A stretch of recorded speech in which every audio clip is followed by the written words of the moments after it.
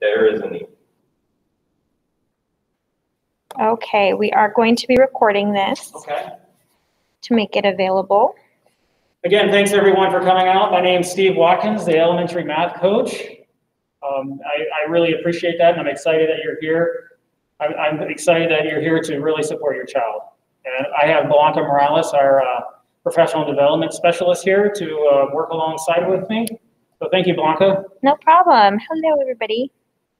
All right, tonight you're here for um, math fluency. So Parent Institute for elementary parents and how to support your child with math fluency. So we're going to talk about that. I have a few people here so we can have time for a lot more questions as needed. Um, I can go slow. All right, so let's just dive right in. Sorry, Blanca. All right, so this is our uh, Queen Creek uh, uh, vision and mission. I want to just focus on the mission. Queen Creek Unified School District empowers each student to achieve excellence in all pursuits and lead with integrity. That's why we're here. We want, we want to have our students, we want to empower our students to achieve excellence. And that, yes, that's in all parts, that's with math fluency as well. And I want to empower each student. We're going to do our part here. You're here to have that partnership with us. So you're going to be partnering with us to empower them at home. In order to do that, to empower them at home, I want to empower you tonight and walk away with that. I thought about giving you a time test on nines, tens, elevens, and twelves for fluency multiplication, but I want you to memorize this number. Take a few moments. All right, Blanca. Next slide. Seriously, stop and memorize it, okay? All right, few more moments. Hey, how's it going? Hi. You just got here, you just got here in time for our memorization. Really? Welcome. Tell me where, uh, what school you're representing tonight? Hi, Peter. Great, Tyler. All right, welcome. My name's Steve. Hi. Hi. This is Blanca. Got a few Hi. People online with us. All right. All right, time's up for memorizing it. We're gonna have a quiz in just a moment on fluency of that. All right. All right, so what to expect tonight? So just an overview. Um, we're gonna talk about grade level fluency expectations according to the standards. Um, what is fluency? So the idea of being fluid and flexible, talk about the importance of making connections. You have handouts as well. This as well, if you want to follow along with this. Making different connections to help us become flexible. Then after that, we're going to look at a variety of different games, and that's what I want you to take home. These, we have different handouts and stuff for you to take, and those are the, the games that's going to empower you to feel a bit more involved to help build this fluency. All right? So here's our grade level required fluency in kindergarten. The, the expectation is that they can add and subtract within five. Now they're working on to count past that, but they want to be fluent and quick with that. First grade, add and subtract within 10. So we, we can see how it builds. Second grade, add and subtract within 20. And then add and subtract within 100 using pencil and paper. That's more of the algorithm. We're getting into some of the computation more or less, tonight is not made for doing the pencil and paper work. What we have traditionally considered mastering the facts, correct? Third grade, that's your multiplication facts, multiplying and divide within 100. That's where our multiplication facts come in. We also have uh, other uh, grade level standards. We're not going to address these so much because these are the byproduct of being successful with that facts. I can add and subtract within 1 million. So it's very hard to have activities that are going to support you with adding and subtract. It's when you know your facts that these other strategies and procedures are going to become a lot easier. Same with fifth grade, uh, multi-digit multiplication, and sixth grade, multi-digit division, multi-digit operations with decimals. So again, tonight's um, focus is on empowering you to support your children. Okay, thank you, Blanca. So what is fluency? Take a moment just to read that over. What is fluency? The word fluent is used in the standards to mean fast and accurate. Okay, that's, that's why we had our time test growing up. We turn the paper over, do as much as you can in two minutes. A lot of anxiety built into that, correct? Fluency in each grade level involves a mixture of just knowing some answers, knowing some answers from patterns, and knowing some answers from using the use of strategies. This is not a matter of distilling facts divorced from their meetings, but rather as an outcome of multi-year process. I like that multi-year process. We saw that in the building of the standards. Add and subtract within five, add and subtract within 10, add and subtract within 20. We're building on that. So each grade level has their own. So this multi-year process that heavily involves the interplay of practice and reasoning, not just memorization. And this is one of the, uh, the ladies I follow, a great blog and thinker of math professional development, Christina Tondevold, if I'm saying that correctly. So uh, great uh, place to turn to, mostly for uh, teaching math. So you're hearing me talk about being fluent and then flexible. Hi, go on in. Welcome. So we're going to talk about being fluent and flexible. The word fluent is used in the standards to mean fast and accurate, and flexible. Being flexible refers to use a use various strategies to get the answer. So let's take a look at this language example of being flexible. I could say that I've lost my marbles.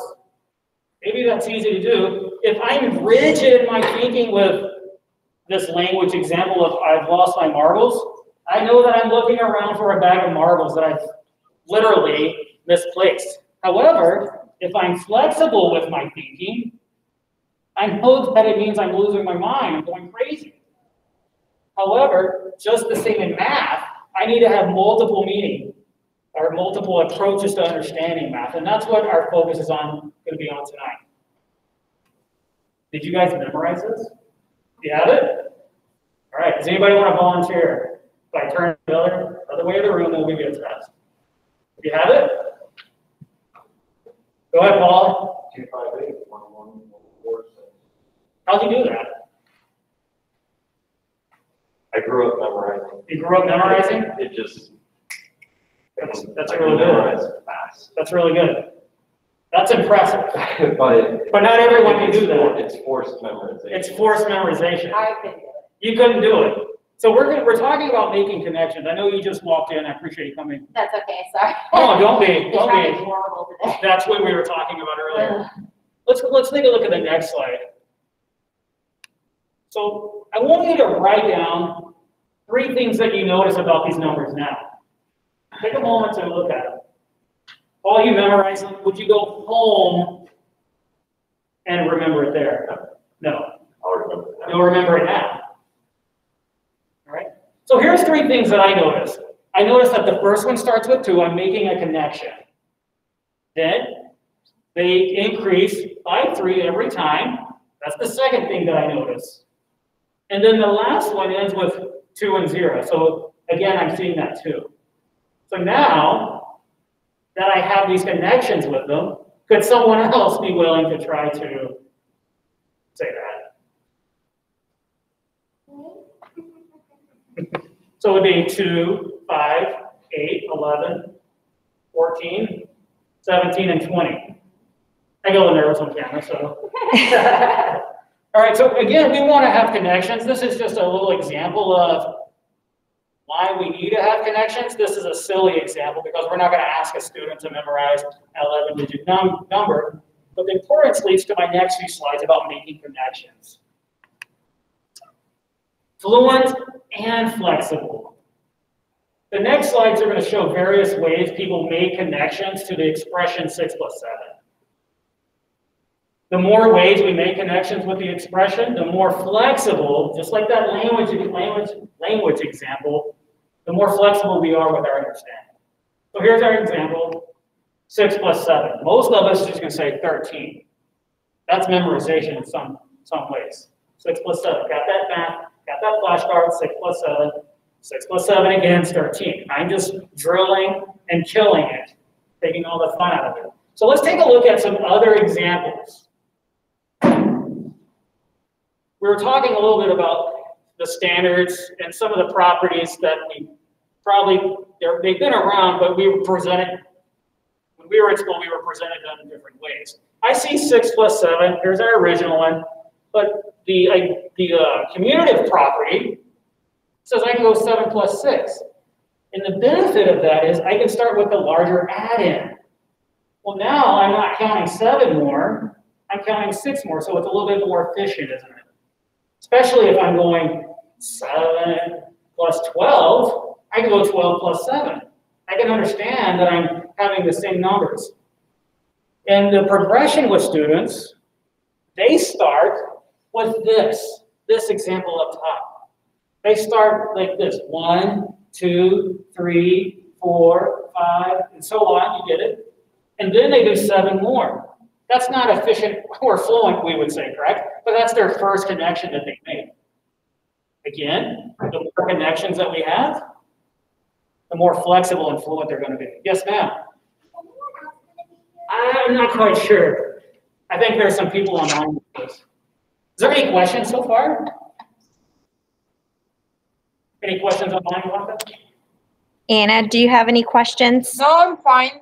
Thank You're you. good. All right, let's take a look at one more slide, please. So here we have pictorial slides that we can also make these connections. This is a 10 frame. So we see 10 frame, this is called a rekenrek, unifix cubes. So I can use those to help my child make connections. Tonight, this is not to overwhelm you with all the different connections. It's showing you the power of making connections. In the classroom, we're gonna do a lot of these strategies. I want you to probably focus in empowering your students at home with a lot of these pictorials and these activities that are, that's gonna support the fluency piece. Okay? Other strategies, we won't talk too much about those, but different connections. Let's get into the fun part, the activities, correct? You girls mind if I, is it okay if they volunteer to help me out? All right. The first strategy is how many hiding, and this is more of a kindergarten to first grade activity. Okay? So in this activity, the child has the same number of pennies in a cup, and tonight we're going to use just Unifix cubes. So you can use beans, anything that you have at home. They take turns hiding some of their pennies in the cup and showing the leftovers. Other children work out the answer to the question, how many are hiding, and say the full number combination. Example, I have 10 pennies and I decide to hide seven in my cup. My group can see that I only have three pennies. Students should be able to say, I'm hiding seven pennies, and that three and seven make 10. Are you ready to help me out? All right, come on up. What's your name? All right, Anna? How are you, Mr. Watkins? All right. I have this here. We're going to play how many are hiding, okay? How many do I have here? 10, okay? Close your eyes. Are you really closing? I'm just going to use a bowl.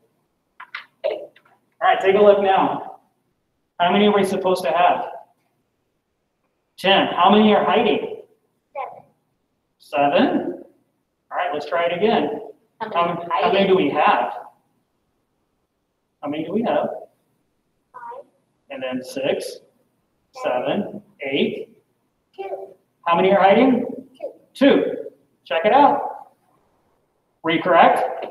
All right, so let's say that. How many do we have here? And then two make 10. 10. Let's take a look at that. Thanks. Yeah. With this activity, there's some different things that you can do. With this, this activity, a good way to bridge that gap of the concrete to the abstract, I have 10. Part of it is showing. What's the other part that's missing? This is being, these are strategies and representations that they see in the classroom. This is called a number bond. So we know that this is going to be two. Here's part of my number, here's the other part of my number, here's the whole thing. So you can do that on a sheet of paper as well to help support them with that fluency. The other representation is- is this one here. This is called a part part whole model as well. Here's my whole, 10. The larger portion of 10 is 8. And I can put that question mark, excuse me. I can put that question mark there. And I can count on one, two to get to 10. So same things that you're doing with the blocks, that you can do at the same time that you're playing. How many, how many are you hiding? Okay? All right, let's take a look at our next game, our activity. You like that one? This one is Go Fish. My daughter and I play this one a lot at home with a deck of cards. So first of all, I wanted my activities to be with simple things that you already have at home. Hopefully you have decks of cards, you have dice. I said pennies, Legos, for how many you're hiding, things of that nature, things that you have at home. Keeping it simple. So this one again is Go Fish. Instead of making pairs, we're making again number combinations to make a 10. Remember, first grade, that was the big expectation with fluency is adding, subtracting within 10. Kindergarten was number, number combinations until five. If you're wanting to work just with five, change your deck up. If you're wanting to do, uh, take out the face cards, feel free to do that at home. So here's how it works. This is what I have, this is what I have, and I'm asking someone, do you have a seven? Because I'm wanting to make that number combination. Okay? No go fish. And then I pick up a card. Blanca, do you want to model that one? Sure, Or do you absolutely. want, you want to model it with me? Yeah, let's have, All right, more face. All right, Blanca. all right. But again, I, I, I played this one with my daughter all last summer.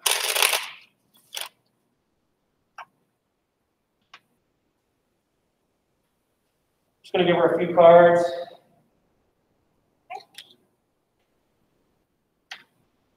And then I'm, again, I'm making tens. So I have a nine, everyone. So everybody in the audience, what do I need to make a ten?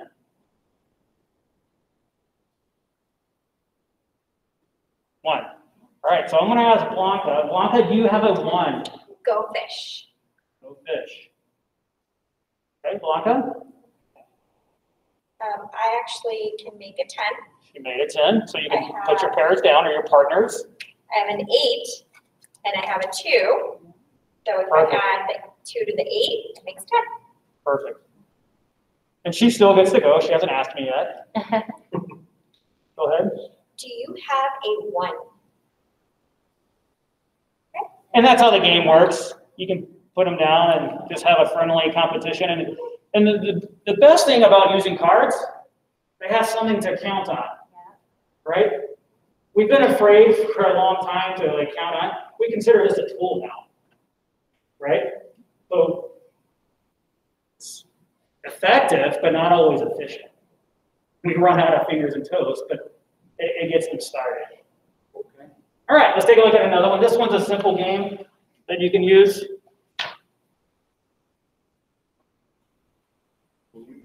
Yeah, go ahead.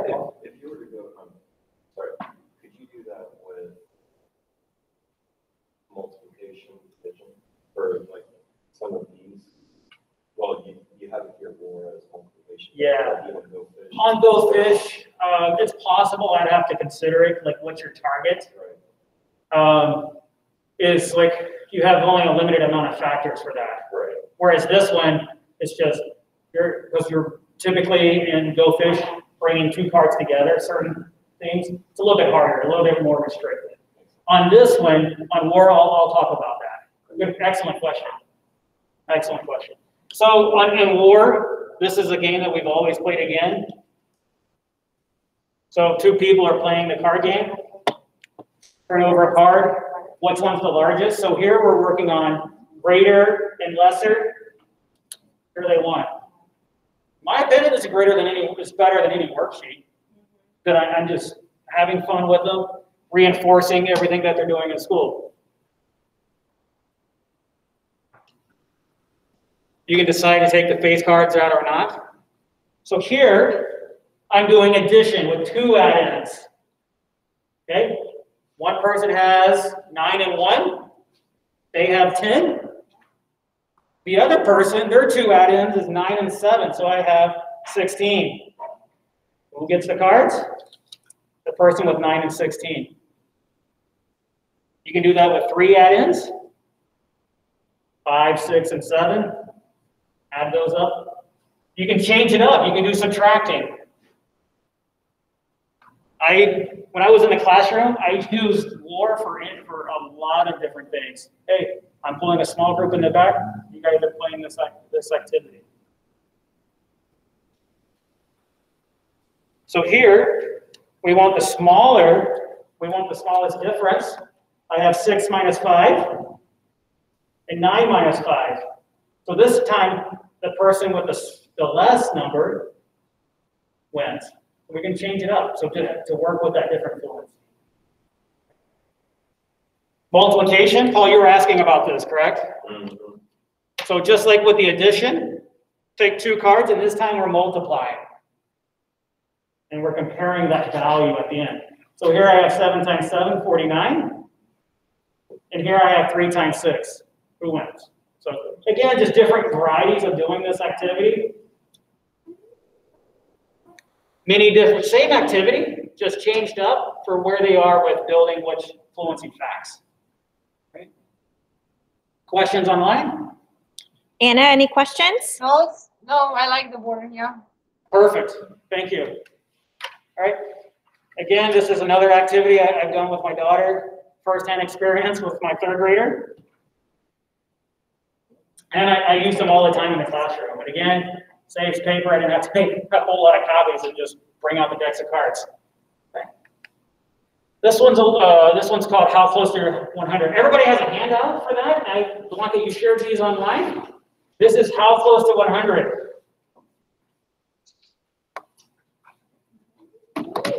Take a pair of dice.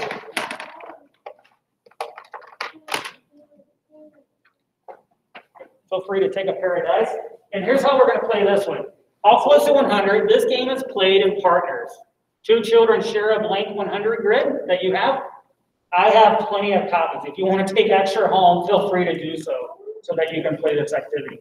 It's also great to put in a page protector and use with a dry erase marker if you're not wanting to make copies over and over. All right, the numbers that come up are the numbers that the child uses to make an array on the 100 grid. This goes back to how they're making connections. I'm showing this array, and that's what multiplication is. They can put the array anywhere on the grid, but the goal is to fill up the grid to get it as full as possible. After the player draws the array on the grid, she writes the number sentence that describes the grid. Number sentence is another word for equation. The game ends when both players have rolled the dice and cannot put any more arrays on the grid. How close to 100 did you get? All right, so here's what it looks like. I'm gonna roll my dice. I have one and a six, so I'm gonna go to my paper here. I go one, down one, and over six. One, two, three, four, five, six.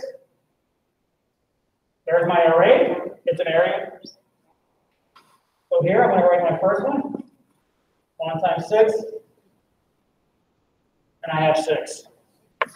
Partner two would go. They have two times six. And can, there's strategy involved.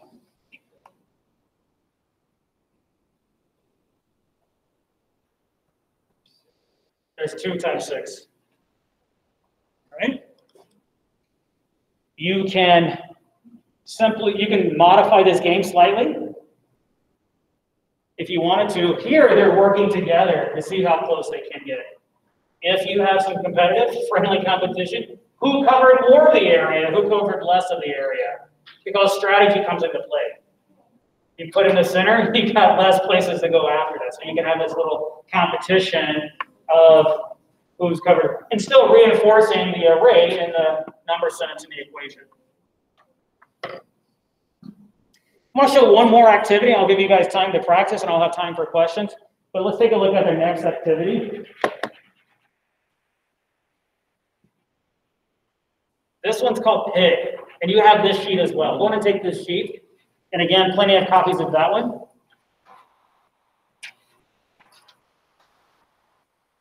All right, this is pig. You'll need, again, two dice and paper and pencil. The goal is to bank 100 points for addition or a 1,000 points if you're doing multiplication. Again, you can modify this game easily. If you want to work on addition, you can modify it to a 1,000 points. if you're working on multiplication. So here's how it looks. Roll as many times as you would like, but that's the risk. There's some risk involved. You can bank your points and then the other player may go. However, if you roll a one, you lose your unbanked points. If you roll double ones, you lose everything in your bank and you start over. So here's how it works. I've got mine up here. I'm gonna roll here. I've got two plus six. I can either write the uh, expression here or I'm just gonna add it. I have eight. I'm gonna go again. I have four plus two, I have six. I'm feeling a little greedy tonight. I'm gonna keep going. Two plus four is eight. Thank you. I was multiplying.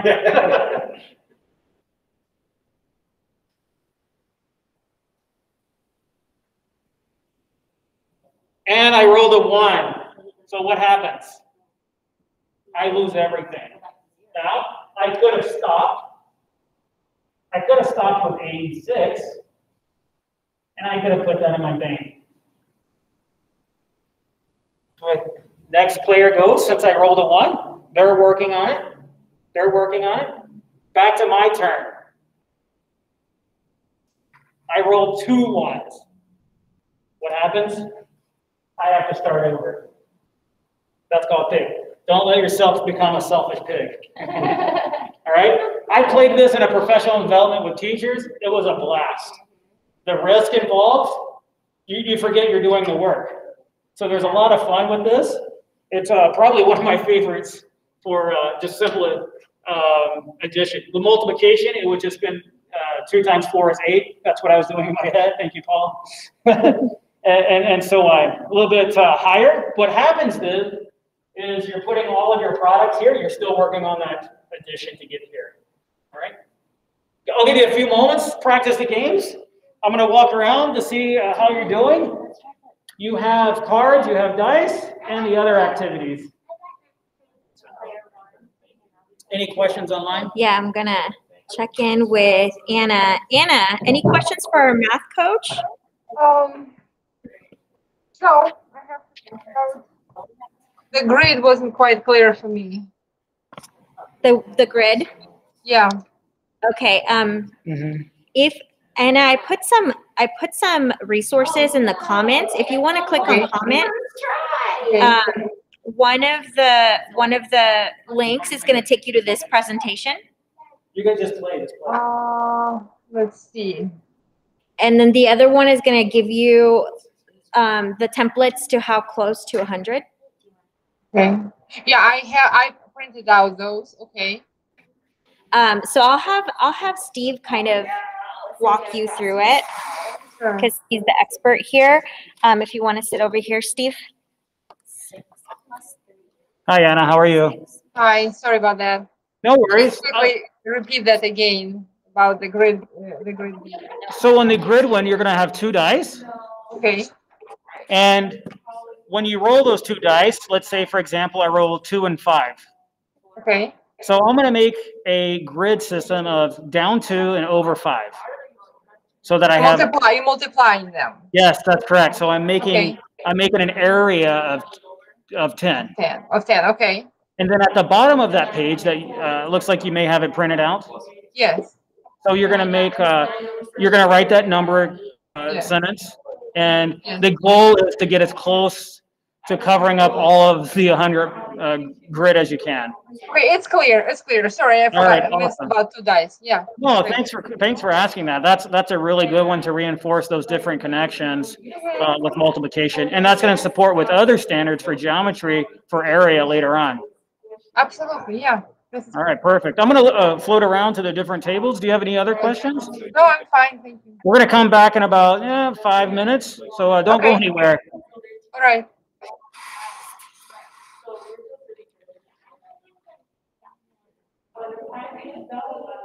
Does anybody wanna play war? I'm like, just, just to clarify, you Yeah. know, Paul told me, Yeah. so the first one I got nine, or nine total, and then I got eight total.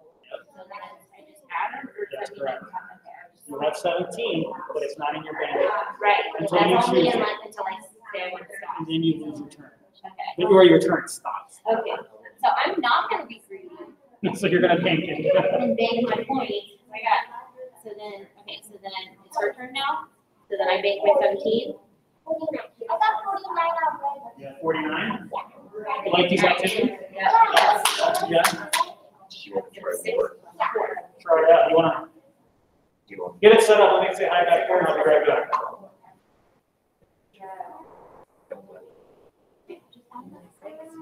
Oh, sorry. Yeah, like, um, Do you wanna try again for skin or chicken do you wanna? Oh, no! I'm zero.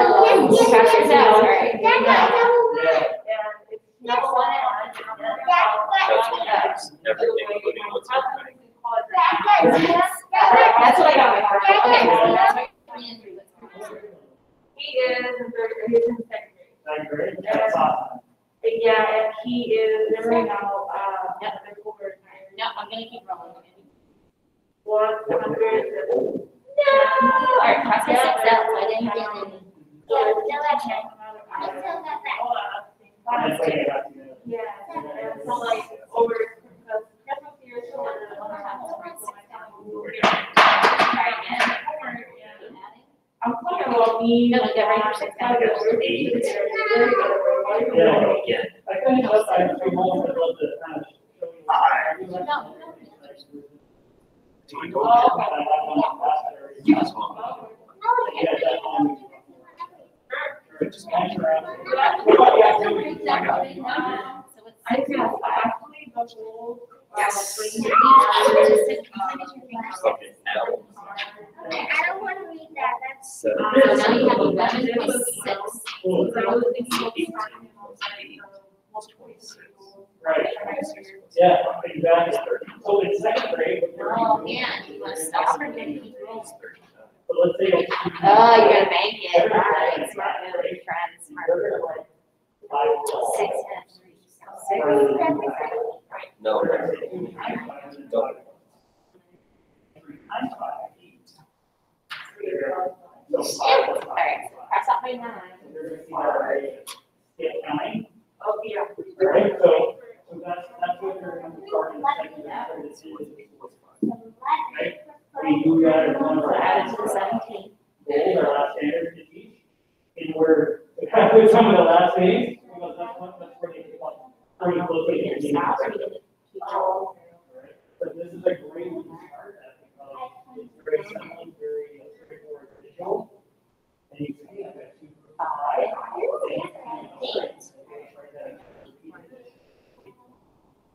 Cool, good, good. Like, like.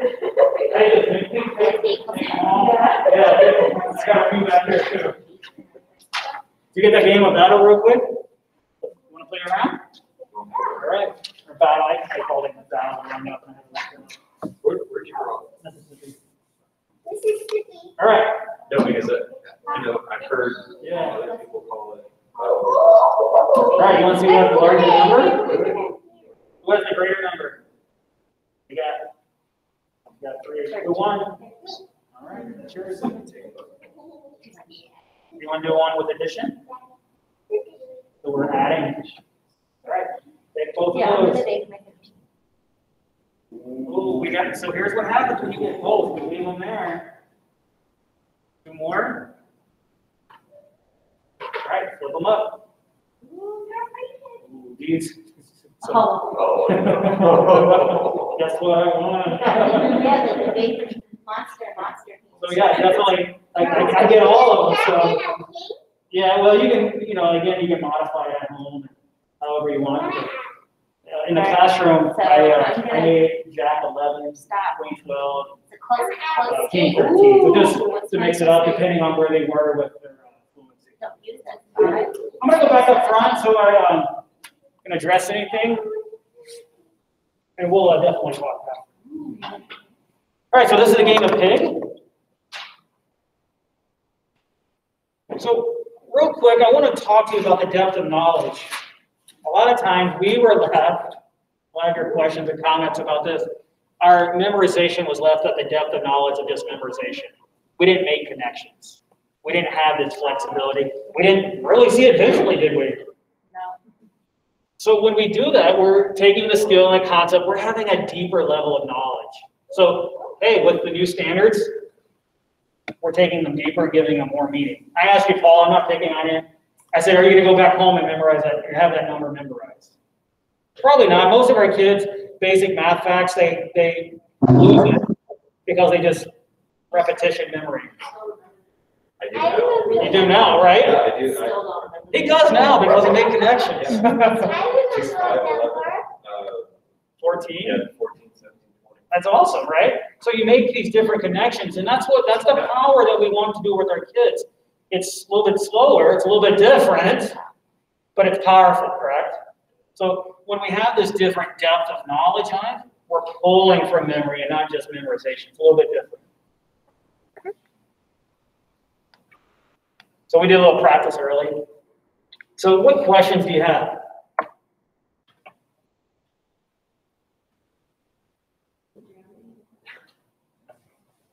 What's your question? I'm- I appreciate that. Thank you. Um, Anna, if you have any questions, let me know. With- Coming to the depth. No, I I have a question about like the older grades, the ones that do algebra. Is that applicable here? Or is it in the end? Say that again? I, I would have some questions about, um, you know, later on for algebra levels. Is that applicable now or? That's going to be probably for our, our our, uh, upper grade coach.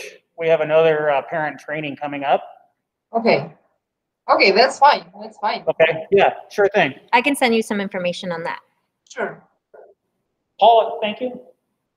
Yeah, it, well, it ties back into the common core, so it can. do it. Okay, sure thing, sure thing. All right. Well, uh, I'm gonna wrap up a little bit early, but I wanna make sure I give credit. Uh, Again, here's some resources that I've used. Oh, survey, let me get to this. I just wanna, Christina, uh, I missed, I mentioned her, and Jo Boaler is a, uh, a specialist. She's, uh, in California. Uh, but great resources. I just wanna make sure I mention those tonight. But uh, a lot of this is what I, I, I've read about and researched. Um, but these, these are things that I've done firsthand as well and had a good experience with. All right, so let me go back to this, uh, if you don't mind doing a little survey for us. And I appreciate you being online with us tonight. You guys have a great evening and safe travels. And I'll make sure I get out there and answer some more questions tonight. Thank you. Thank you. So much. Thank you. Thank you, And- Anna. and James. Yeah.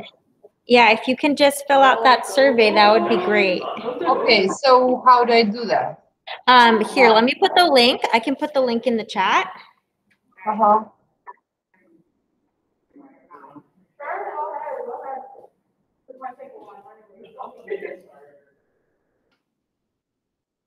Okay, I put, if you want to copy and paste that um, into your browser, it should take you to the survey. If not, you can always uh, take a picture of the QR code and it should bring up the link autom- automatically. Oh.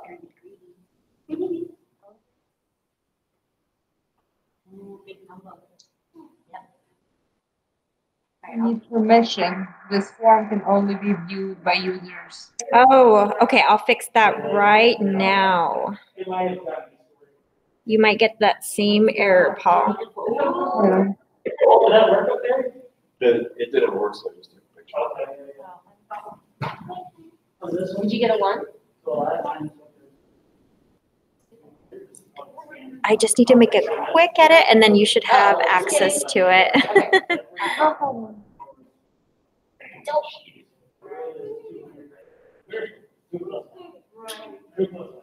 All right, will you do me a favor and try it again and see if it will work?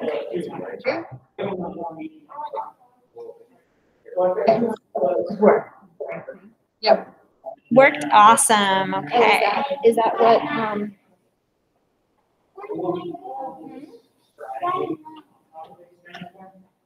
Partial sum. The final answer is sum. But here I'm partial. Right? So here I have nine. one plus three? Hmm.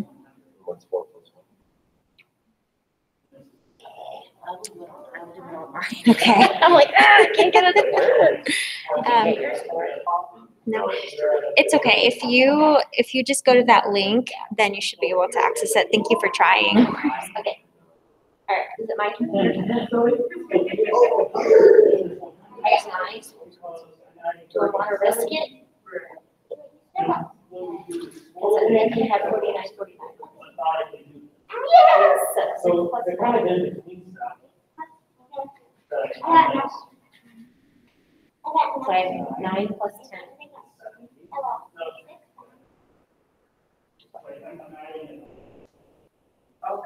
See what I'm doing? And then this one, so I kind of go from the expanded part to this piece of my. This one. All right, Anna. I don't know if you had any more questions, but um, but uh, as to the junior high information, Yeah, so there's a lot of- I can. I have. Uh, we have a training. It's going to be able to be offered virtually as well.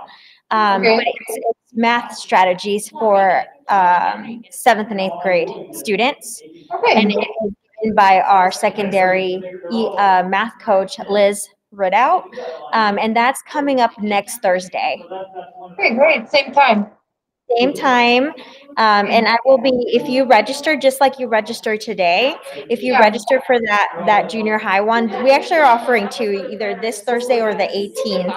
Um, Okay, but he, but she will be more focusing on, on that secondary. okay, that's great, yeah. Thank you for joining us, and, um, if you need to head out, then I think we're, we're basically done here. Okay, great. So I'll finish, I'll finish the review and, um, and yes, thank you very much. Okay, thank you. Have a good one. Thank you. There There you go. Prior to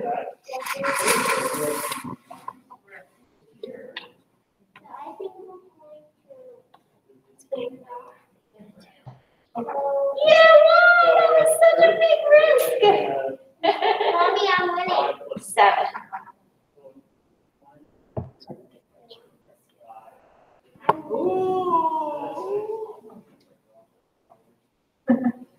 six. Five. Okay, I'm gonna stop with my nineteen.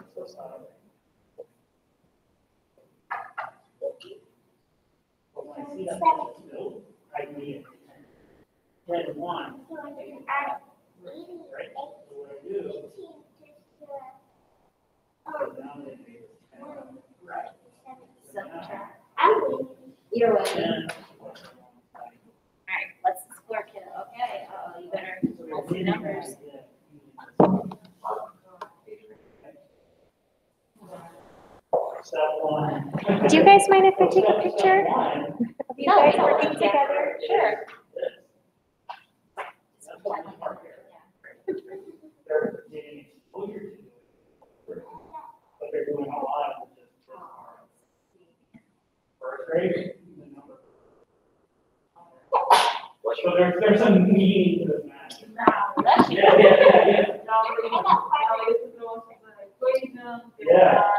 Get, get right? Yeah. Yeah. Hey, guys. Oh, no, does that mean I have to go back to zero? Yeah, yeah, you guys are good. I had seventy-eight. Oh. Good thing you're doing this practice with fluency, yeah. I'm such a poor, where she gets it from, like, Yeah. look, Michaela, I go back to zero because I got double zero, double. That's fun. So that means I have to go back to zero takes for me. Oh, do you have something else? Yes. Uh, I, on, know, I know a way to, um, to make, um, we're all good here? Yep, we're all good. All right. Yep. I guess, um, to be honest, I'm not even really sure if I'm going to raise the question. So, can so you know,